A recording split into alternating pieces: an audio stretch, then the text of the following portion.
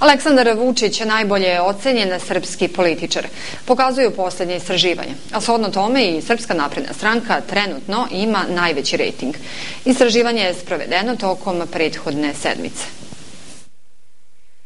Najbolje ocenjen političar u zemlji je Aleksandar Vučić, koji je dobio ocenu 4,3. Zatim slede Ivan Tasovac, Nebojša Rodić i Vanja Udovičić. Loše je pozicioniran i Lazar Krstić, ministar financija, a najgore su ocenjeni Saša Radulović i Tomislav Jovanović. Dobar rejting lidera naprednjaka verovatno je doprineo i dobrom rejtingu čitave stranke.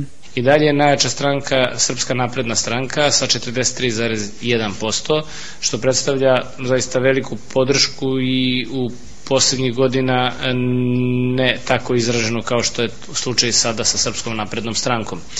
Na drugom mestu je sa jednim blagim skokom demokratska stranka koja sam i to, kao što sam rekao u nekim prethodnim prilikama, stabilizovala svoje biračko telo. Nakon naprednjaka i demokrata slede socijalisti, a cenzus bi prešli i DSS i LDP.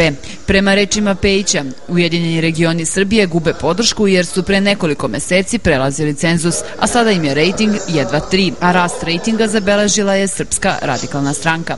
Takođe, tema istraživanja bio je i odnos Aleksandra Vučića i premijera Ivice Dačića. Samo 7% građana veruje da Vučić i Dačić jedan drugome podmeću afere, 21% da sarađuju dobro i korektno, dok 23% građana ocenjuje da se podnose. Više od polovine građana smatra da su izbori u Srbiji potrebni, ali bi na glasanje izašlo nešto manje od pola. Uglavnom to vezuju sa tim da e, trenutni odnos snaga e, koji je u parlamentu pa i u vladi ne odgovara e, odnosu snaga u biračkom telu.